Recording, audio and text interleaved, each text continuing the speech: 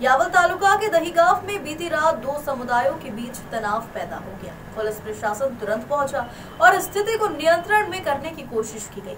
हालाँकि कल पूरे दिन गाँव में तनाव का माहौल बना रहा।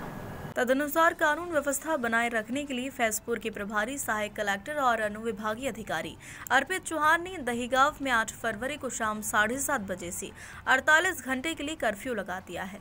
इस संबंध में निर्देश जारी कर दिए हैं। कर्फ्यू अवधि के दौरान किसी को भी घर से बाहर निकलने की अनुमति नहीं होगी और आवश्यक सेवाओं को छोड़कर सभी दुकानें और वाणिज्यिक प्रतिष्ठान भी बंद रहेंगे।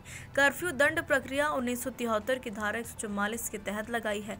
इसी बीच दहीगांव में किसी किसी भी अप्रिय घटना को रोकने के लिए पुलिस प्रशासन ने कड़े इंतज़ाम किए हैं और जिला प्रशासन ने कहा कि गाँव में माहौल अब नियंत्रण में है। जलगांव से भीमराव कोचुरे की रिपोर्ट। यावल एरियाचे दहीगावमध्ये ज्या घटना घडली होती अनुषंगाने जे दोन्ही समाज आहे, त्यामध्ये यापुढे तेढ निर्माण होऊ नये. त्याचबरोबर एस डी एम साहेबांनी इथे कर्फ्यू लागू केला आहे. त्याचप्रमाणे जे जे इम्पॉर्टंट ठिकाणे आहेत त्यामध्ये पोलिसांनी आत्ता बंदोबस्त ठेवला आहे. आणि जे नेमलेले पॉईंट्स आहेत तिथे सतर्क आहे. आत्ता पूर्ण गावात शांत शांतता आहे.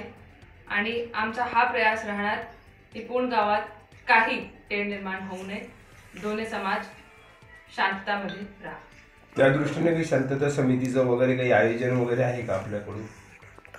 उद्या आम्ही सगळे वरिष्ठासोबत सगळे डिपार्टमेंटशी कोऑर्डिनेशन करून एक शांतता समितीची बैठक करा